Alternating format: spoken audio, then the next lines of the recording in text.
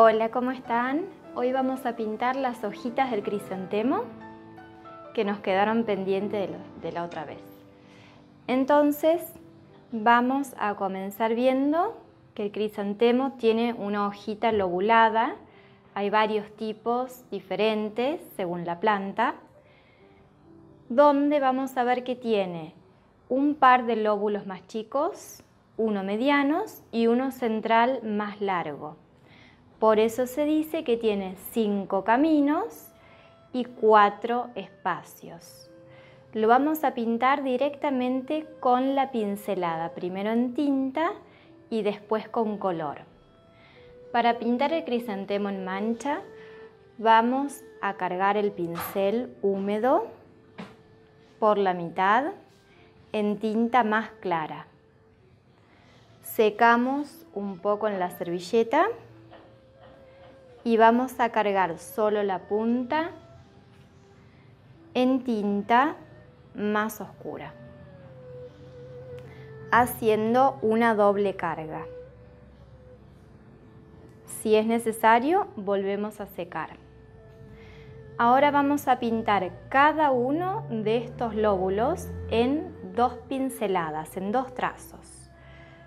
Para eso vamos a apoyar el pincel, no va a estar ni muy vertical ni demasiado acostado, un término medio. Y vamos a hacer uno, dos. Uno, dos. Uno, dos. Voy y envuelvo. Voy y envuelvo. Muy bien, ahora vamos a armar la hoja completa, comenzando por este más chiquito. Hacemos 1, 2, seguimos por el mediano, 1, 2. Siempre pegado, no dejamos espacio entre uno y otro. Continuamos con el central, 1, 2, y cerramos con el más chico nuevamente. Una vez que esté casi seco, vamos a agregarle las nervaduras con valor más oscuro. Ahora lo vamos a repetir y vamos a verlo en dos posiciones diferentes.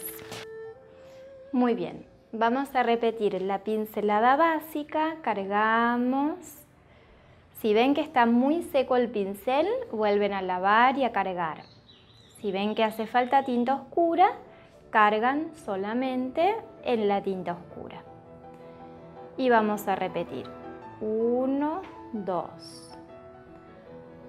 1, 2. 1, 2.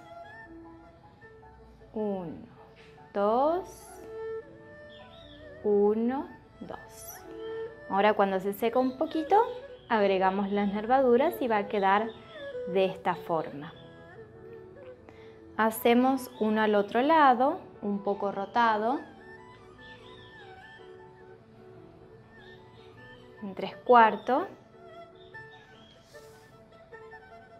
1, 2, 1, 2, 1, 2. Y acá, como los de atrás no se ven completos, vamos a sugerirlos con dos pinceladas. 1, 2, más chiquitas. Muy bien, y por último, el que está hacia adelante.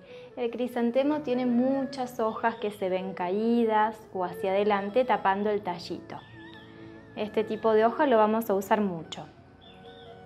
Entonces, comenzamos por la chiquita del costado, seguimos por la más larga central.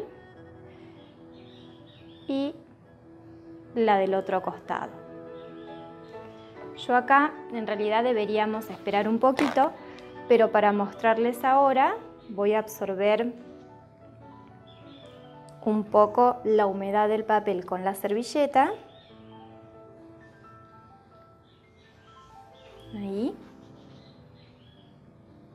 y vamos a hacer las nervaduras. Las nervaduras se tienen que hacer cuando el papel está todavía húmedo, pero no completamente seco. Vamos a usar una tinta más oscura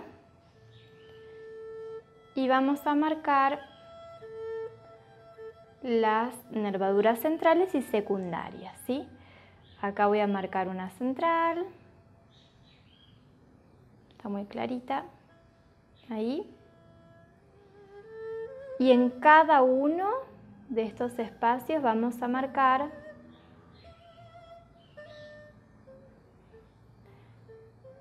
las secundarias.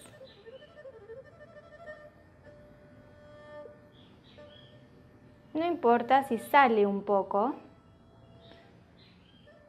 porque le da más movimiento.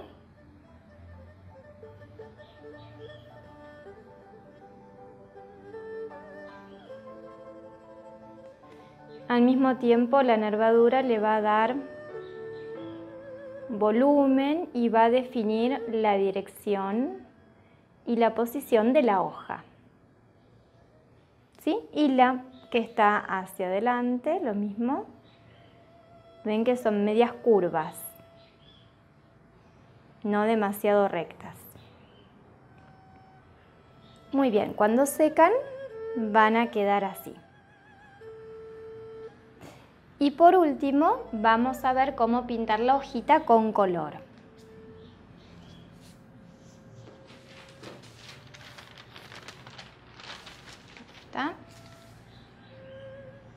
Yo elegí este verde, que es como un verde sap.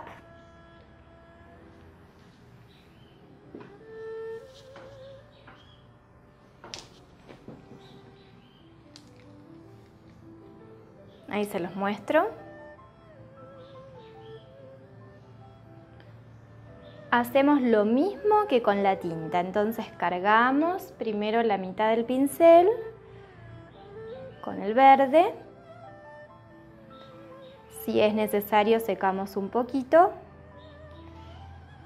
y vamos a cargar con tinta oscura en la punta del pincel.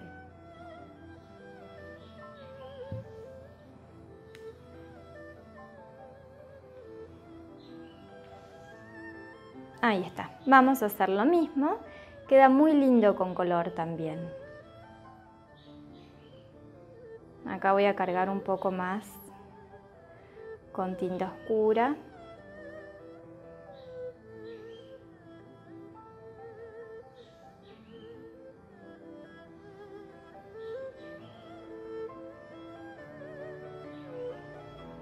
Ahí está.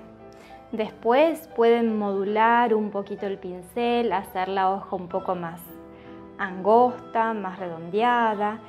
Eso se puede ir variando. Esta es la hojita básica voy a absorber la humedad, ustedes tienen que esperar que seque un poco.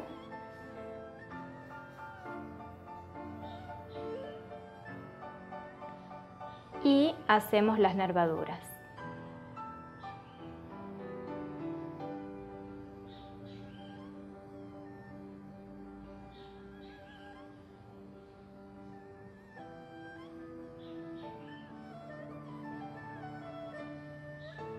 Ahí está. Si queremos hacer el tallito, podemos mezclar verde con tinta. Ahí. Y marcamos ahí un poquito el tallo hacia la hoja. Bueno, espero que les haya gustado y la próxima vamos a armar la composición completa. Muy buena práctica.